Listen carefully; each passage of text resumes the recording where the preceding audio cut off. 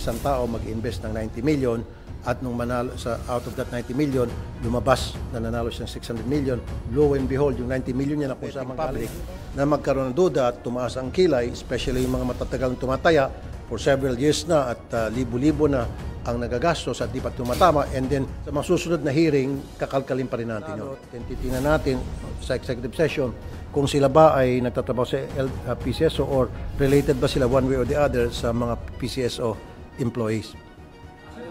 or bata-bata ng taga-PCSO.